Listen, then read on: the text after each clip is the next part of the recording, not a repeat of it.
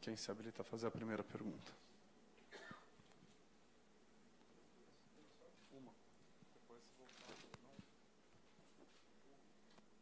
Dorival, você pode sinalizar para a gente o time, as suas ideias e o que, que você imagina que seja mais perigoso no adversário? Não, o time eu ainda não tenho a escalação, não vou, não vou adiantar a escalação. Uh, com relação ao Corinthians, é o líder do campeonato, a equipe mais regular ao longo de, de toda a temporada, uma equipe que com certeza aí teremos muitas dificuldades, assim como espero o Corinthians também os tenha, em razão da, da, da, da forma como a equipe vem trabalhando, treinando. Eu ainda é, acredito que a nossa equipe esteja evoluindo gradativamente, momento a momento, e que façamos aí um grande jogo. Acho que teremos tudo para que tenhamos um grande espetáculo aí no, no domingo. Dorival, você já falou que não vai falar nomes, mas é um time mais próximo daquele meio-campo com Petros, Hernanes Jusilei, mais encorpado, com Marcos Guilherme, um cara mais de velocidade, um armador. É esse o time mais próximo, não um time que você teve no segundo tempo do Vitória, com o Hernanes mais equado, três meias. É um time mais próximo desse primeiro? É, um time mais próximo das, das duas possíveis opções que você colocou. Então, é mais ou menos alguma coisa assim. Não, não, não, podemos fugir muito, mas é mais ou menos alguma coisa muito próxima de tudo isso aí. Dorival, duas rápidas. A primeira, a semana, essa semana foi bem diferente da passada, né? Você não teve nenhum caso de extra-campo, de reunião. É, queria que você falasse sobre as diferenças das duas semanas de preparação, né, o que, que isso contribuiu para você. E na lateral esquerda, você deu uma sequência boa para o Edmar, se não me engano, nove jogos. E o Júnior entrou bem contra o Vitória.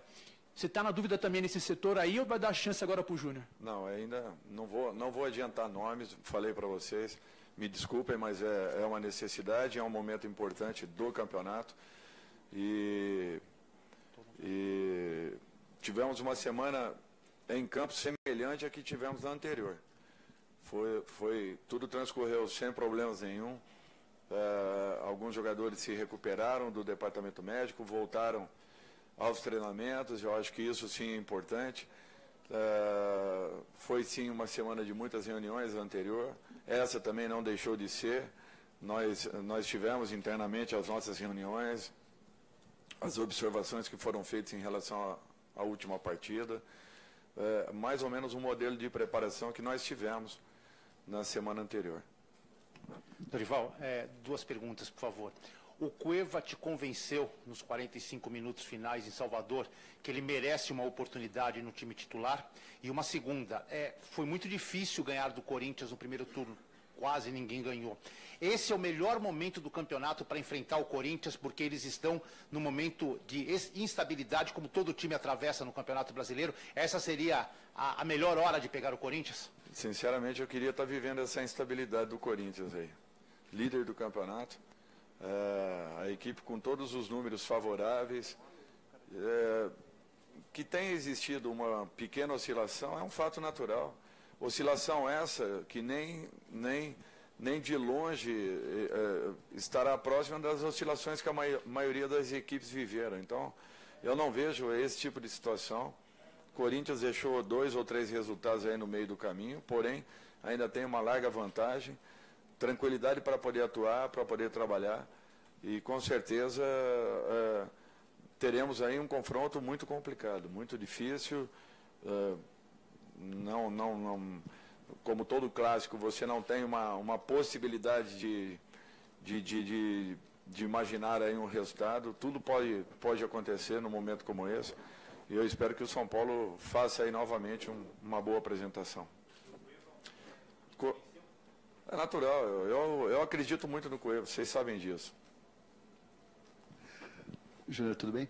É, o São Paulo venceu é, o Botafogo e aí foi da euforia à depressão, porque depois perdeu em casa né, contra o Curitiba, o estádio lotado.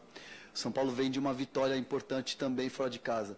É, o que, que São Paulo agora mostra de força até psicológica, uma força mental, para não cair nessa depressão que caiu no jogo contra o Curitiba? Que se prepare ainda mais e melhor do que aconteceu naquela semana. Eu acho que isso daí foi uma colocação que nós fizemos no início, quando nos reapresentamos aqui para o primeiro treinamento. É, não toquei naturalmente no assunto diretamente, mas o quanto seria importante uma preparação adequada para um jogo fundamental como será esse de, de domingo. E, e, eu espero que todos esses detalhes que já tenham acontecido e, é, e, e, fatos passados com a nossa equipe sejam importantes num momento como esse. Uma reavaliação de todos nós internamente e uma preparação ainda melhor, ela é mais do que necessária nesse momento. É, Dorival, boa tarde. É claro que o São Paulo joga em casa contra o Corinthians, que lidera o campeonato. Uma vitória, o seu time sai da zona de rebaixamento. Mas pelo fato da, na rodada passada, do São Paulo ganhar um jogo fora de casa contra o Vitória, enfrentando o líder do campeonato, que fatalmente vai tirar pontos dos times que lutam contra o rebaixamento. O São Paulo busca a vitória, mas um empate, se vier, pode ser considerado um bom resultado? Eu acho que todo ponto somado num momento como esse seria fundamental. O São Paulo precisa de pontos. Se tivéssemos um ou dois pontos a mais nesse momento de resultados passados, olha a diferença que poderia estar fazendo na, na classificação a nosso favor. Então, eu acho que todo ponto ele é sim muito importante. É natural que Corinthians entrará, São Paulo entrará em campo brigando pelo resultado, brigando pela vitória. Mas todo ponto somado é natural principalmente para nós nesse momento, seria, seria fundamental. O Dorival, você disse na semana passada, em relação à reunião com torcedores, que tudo que vier agora de apoio é bem-vindo, né? Hoje o Guilherme Arana deu uma entrevista dando uma cutucada no São Paulo, que se o time fosse rebaixado e o Corinthians campeão, seria um ano perfeito. E não é nem querendo entrar em polêmica nesse sentido, mas o time do São Paulo está procurando coisas, a gente imagina, para se agarrar. Qualquer coisa serve como motivação. Teve a questão do Canu contra o Vitória. O adversário, quando faz essa provocação hoje, ao invés de incomodar, dá para falar que ele dá um estímulo a mais? Isso é usado para motivar os atletas? Eu acho que a maior motivação é sairmos com o São Paulo dessa situação. Não existe uma motivação maior que essa. Vestir uma camisa como a de São Paulo, você não pode ter uma motivação que supere esta. É natural que toda declaração ela é importante, sim, mas ela não pode ser superior à vontade, à gana, à determinação de uma equipe em querer é, é, é, responder à altura à sua camisa e ao seu torcedor. Eu acho que esse sim é o, é o principal. Júnior, aqui. É, olhando para a tabela, tem uma coisa que chama a atenção, que do 12 colocado para baixo, está todo mundo na mesma luta. Né? Aumentou o número de times brigando para não cair para a zona de rebaixamento. A notícia boa é que uma vitória do São Paulo, combinada com um resultado apenas desse grupo todo aí que não seja bom, o São Paulo sai. Só que tem mais gente agora brigando, porque a pontuação de muita gente não é boa. Eu sei que você pensa o campeonato como um todo, o campeonato não termina domingo. Isso aumenta ainda mais a importância de uma vitória. Até porque o São Paulo não teve um momento como esse, em que pôde conviver com dois, três, quatro resultados em sequência. E está na hora, de repente, das coisas acontecerem também positivamente ao nosso lado. Lógico que teremos que trabalhar e reconhecemos no adversário um adversário dificílimo. Não é líder por um acaso não faz a campanha que faz por uma circunstância. Eu, eu acredito muito que o, o, o, São Paulo venha evoluindo a cada rodada, venha melhorando a cada rodada.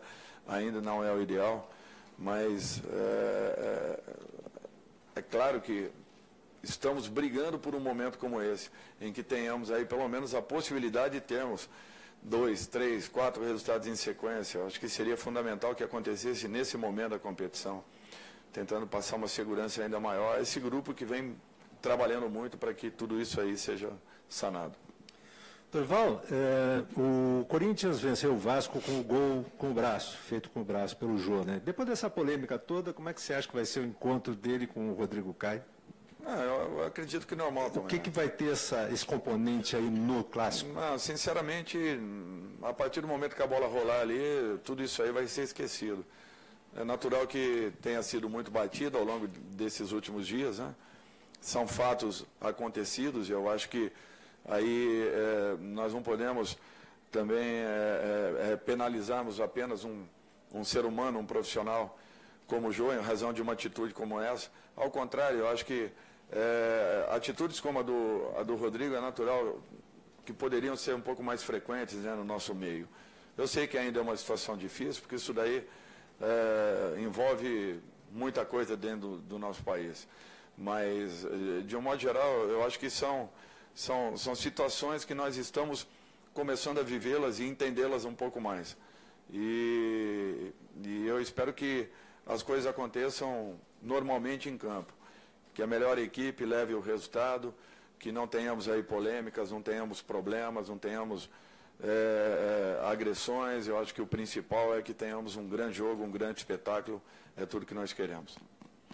É, Dorival, com toda a sua experiência, você sabe que tem alguns jogos que acabam marcando mais, né? acabam, é, de uma certa forma, valendo mais, porque carregam também para próximas rodadas. Você acha que este clássico contra o Corinthians é um jogo que não vale só três pontos? É, primeiro, não só o resultado, é muito mais aquilo que eu falei anteriormente. É, a primeira possibilidade de uma sequência de resultados do São Paulo. Eu acho que isso daí seria fundamental que acontecesse. É, o peso de, um, de, uma vitória em cima de uma equipe como o Corinthians, líder do campeonato, é, tudo que representa, né, dentro do nosso estado, um clássico como esse. Mas o principal é que a sequência pudesse acontecer. Eu acho que esse sim seria um ponto importantíssimo nesse momento. É, é natural que uma vitória tenha um peso considerável, mas não só ela nos dará uma, uma classificação melhor, e nem tampouco um, um resultado ruim também fará com que entremos aqui em parafuso.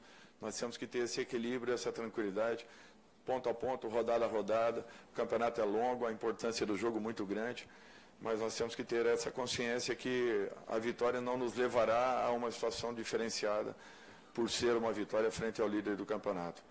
O nosso campeonato, ele segue e é um pouco diferente daquele que o Corinthians realiza no momento. Dorival, o Corinthians jogou na quarta-feira, voltou da Argentina na quinta. O jogo é às 11, o que diminui ainda um pouco mais a preparação do Corinthians. Se eu não me engano, o Corinthians vai até dormir em um hotel perto do Morumbi, vai até mudar o seu local de concentração. Essa é uma vantagem que o São Paulo pode administrar de alguma forma na partida? É lógico que existe um desgaste, eu reconheço isso. É... Se saberemos aproveitar tudo isso, eu não sei a maneira como o Corinthians vai a campo também, se vai conseguir uma recuperação completa.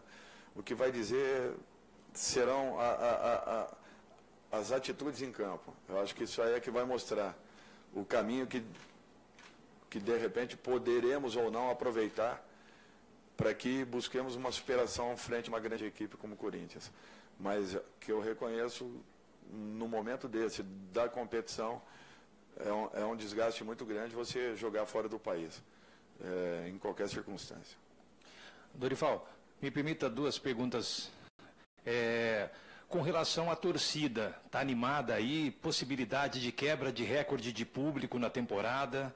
É, o maior público é no jogo do, do Flamengo, lá no Carioca, e no Fla-Flu. E o São Paulo aí com a chance de 60 mil nesse domingo, a importância da torcida. E dentro desse momento de recuperar confiança, queria que você falasse um pouquinho também da visita do Murici, que é um vencedor e esteve aqui também conversando com, com todo mundo para levantar aí o ânimo da, da equipe.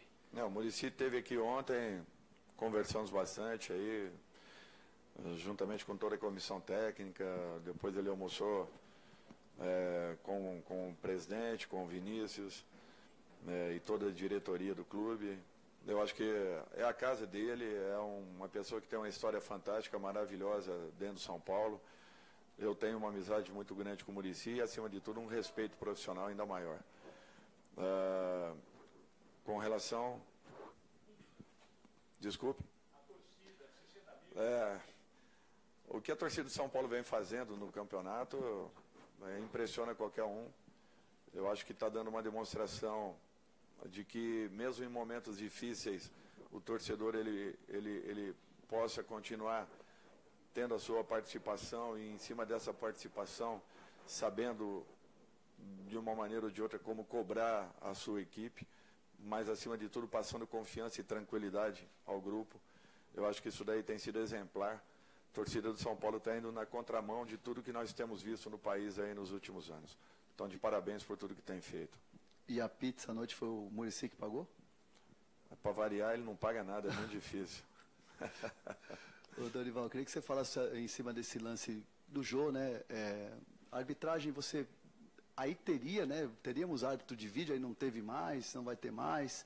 Você vê uma possibilidade de uma arbitragem tensa nesse jogo, por tudo que aconteceu no Corinthians, pela, é, a, depois a, a, confederação dizendo que tem que ter árbitro de vídeo, aí não tem mais é, como ter em todos os jogos. Você percebe, de repente, uma arbitragem, pode ter uma arbitragem tensa? Não, eu acredito que não. Que não tenhamos é, motivos reais para uma arbitragem tensa. A arbitragem vai ter liberdade para poder definir da melhor forma possível.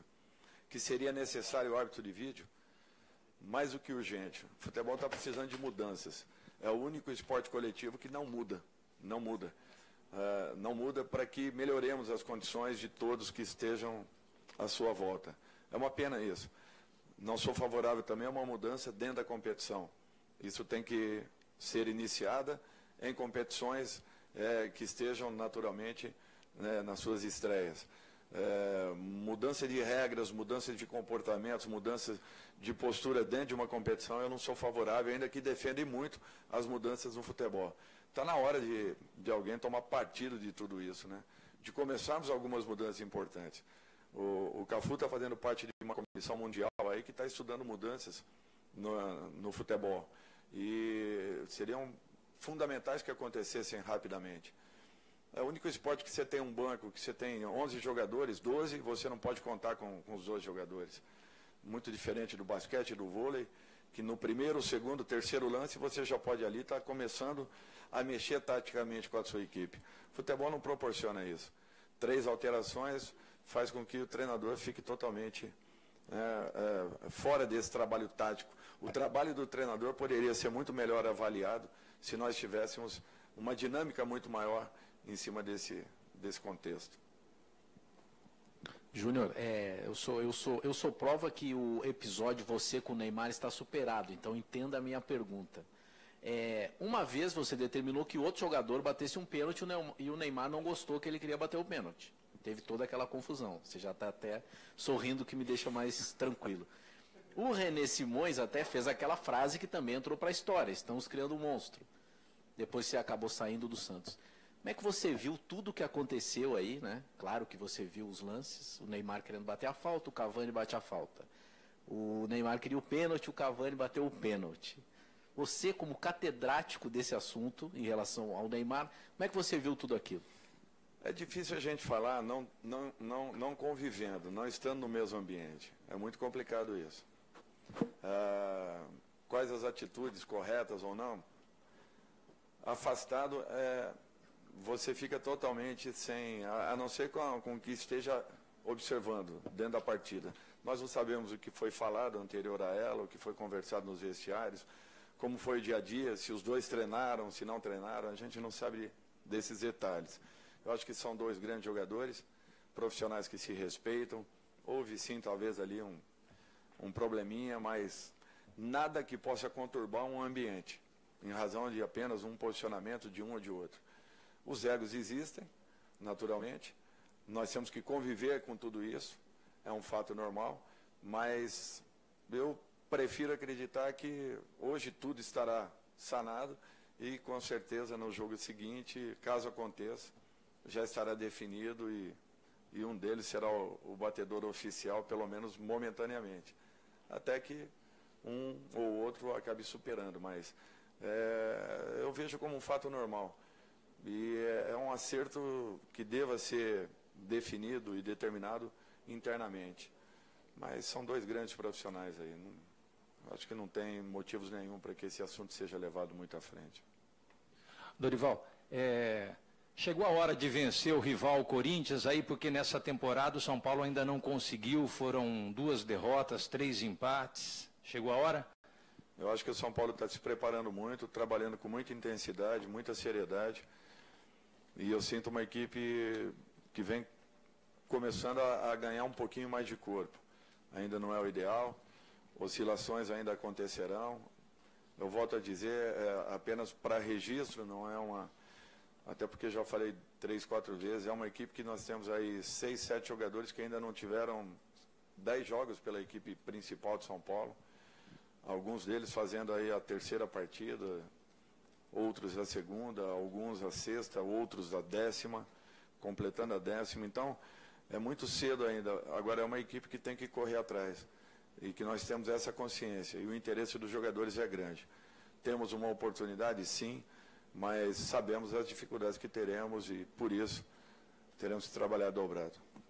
O Dorival, é, apesar dessa oscilação do Corinthians, que você disse até que é pequena perto de outros times, é, você ainda acredita que dificilmente alguém vai tirar o título da competição do Corinthians esse ano? Não, é difícil falar isso aí. É natural que a vantagem seja considerável e respeitável. É, mas é difícil falar. Futebol brasileiro nós já acompanhamos muita, muitas viradas. O próprio São Paulo em 2008 teve uma virada que ninguém esperava. Flamengo em 2009 teve uma outra que ainda mais complicada. Depois do, daquilo que aconteceu com o Fluminense, saindo daquela zona de rebaixamento naquele momento da competição, também em 2009, nós podemos esperar toda e qualquer situação é, dentro de um campeonato tão difícil e complicado como o nosso. Obrigado, Dorival. Fechamos aqui a entrevista coletiva. Uh, vocês têm até as quatro horas para fazer os trabalhos, passagens e afins. Obrigado.